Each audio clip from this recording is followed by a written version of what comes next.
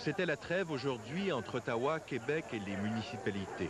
L'occasion de cette grande réunion fraternelle où tout le monde se congratulait, c'était l'inauguration officielle d'une section du boulevard Henri Bourassa dans l'Est. Ce tronçon de 8,5 km entre l'Angelier et l'échangeur de l'autoroute 40 a été réaménagé au coût de 113 millions, environ 12 millions du kilomètre. Dans l'autobus, le maire Bourque expliquait d'ailleurs les principales réalisations. Tout juste avant cette inauguration, les politiciens ont pris la parole pour se féliciter et se remercier. Il y avait quatre maires et quatre ministres. Seul le maire de Montréal-Nord a fait allusion à la situation des municipalités. Que dans ce monde municipal, à l'heure actuelle, perturbé, qui est même euh, parfois fragilisé, puis qui a même aussi l'impression d'être presque marginalisé, qu'il fait bon de se réunir, de se regrouper aujourd'hui autour d'une œuvre comme celle-là.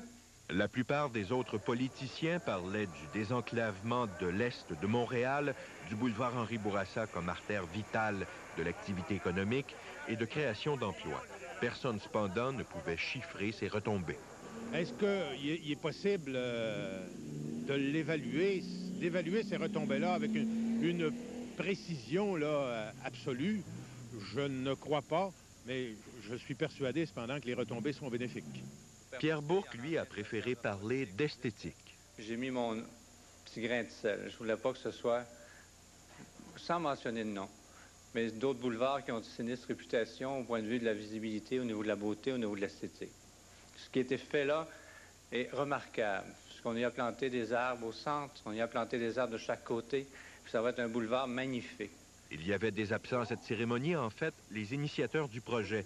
Lors du lancement des travaux, le gouvernement provincial était libéral et le RCM dirigeait Montréal. Yves Malo, Le Grand Journal. Le boulevard Henri Bourassa traverse le quartier Rivière-des-Prairies, les municipalités de Montréal-Nord, Montréal-Est, Anjou et Saint-Léonard. Route de campagne, peu carrossable, les qualificatifs pleuvent pour décrire cette artère cruciale dans le nord-est de l'île de Montréal. Il s'agissait, euh, au point de vue routier, d'à peu près le pire anachronisme la pire honte qu'on pouvait pas avoir dans l'Est. Entrepris en 1994, les travaux ont vite suscité le mécontentement de plusieurs commerçants. Au niveau de nos pompes, j'ai des journées qu'avant, je faisais entre 4 et 5 000 litres par jour. Aujourd'hui, je suis rendu à 1 700, 1 500, 2 000. Les représentants de la Ville de Montréal affirment à l'époque qu'elle est consciente que les travaux ont un impact sur la qualité de vie des résidents et des commerçants. Mais ils demandent aussi un peu de compréhension. Ça fait des années que les gens demandent à Henri Bourassa, on est prêt à le livrer maintenant. Alors, bravo, tu sais. C'est sûr que ça met des inconvénients, mais je suis persuadé que tantôt, tout, ça va être oublié. La réfection du boulevard Henri Bourassa constitue un travail colossal.